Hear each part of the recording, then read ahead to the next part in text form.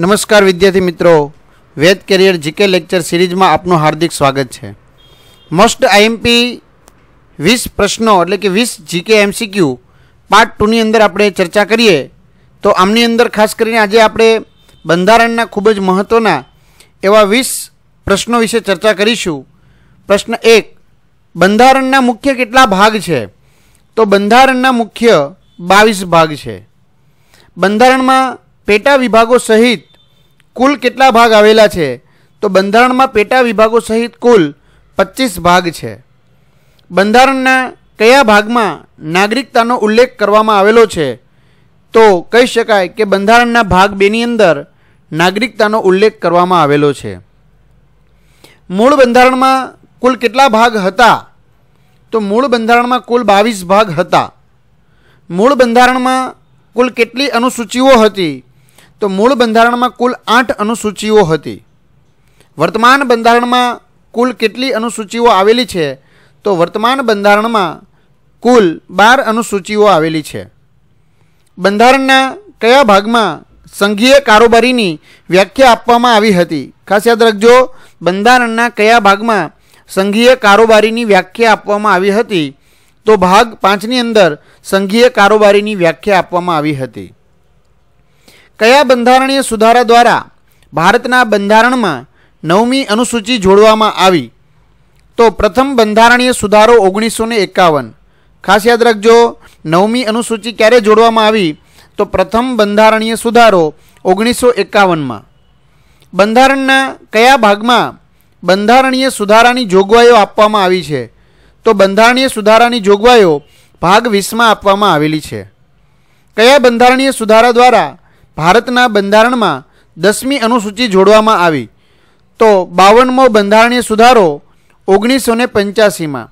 જો નવમી અનુસૂચિ, તો પ્રથમ બંધારણીય સુધારો ઓગણીસો એકાવન.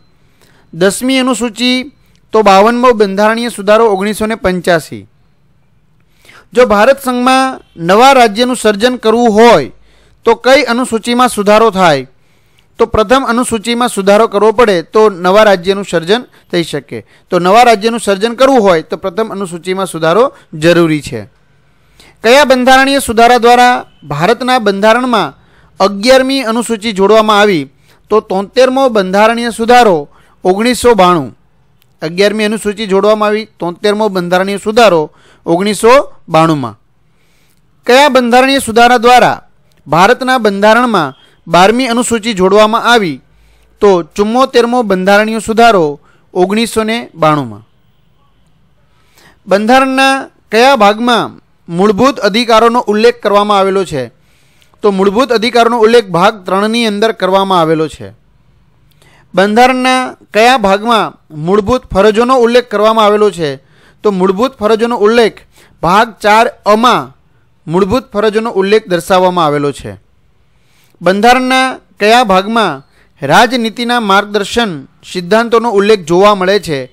તો ભાગ ચારની અંદર રાજનીતિના માર્ગદર્શન સિદ્ધાંતોનો ઉલ્લેખ જોવા મળે છે.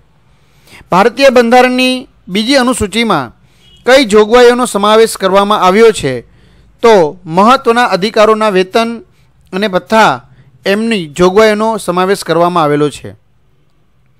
બંધારણના ભાગ એકમાં કોનું વર્ણન કરવામાં આવ્યું છે? તો બંધારણના ભાગ એકમાં સંઘ અને તેનું રાજ્ય ક્ષેત્રનું વર્ણન કરવામાં આવેલું છે. બંધારણનો કયો ભાગ સહકારી મંડળીઓથી સંબંધિત છે? તો ભાગ નવ બી સહકારી મંડળીઓથી સંબંધિત છે.